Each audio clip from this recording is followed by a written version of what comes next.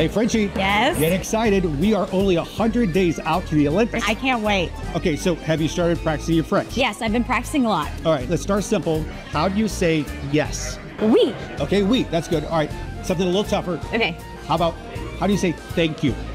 Mercy. Uh, It's not mercy, it's more like merci. Merci. Okay, that's better. Okay, so this next one's important because we wake up really early. How do you say good morning?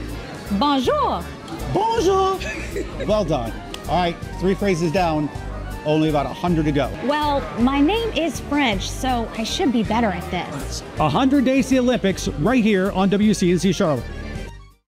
Oh, thank you to Amélie's for having us Yeah. out there. That was so much fun. Merci.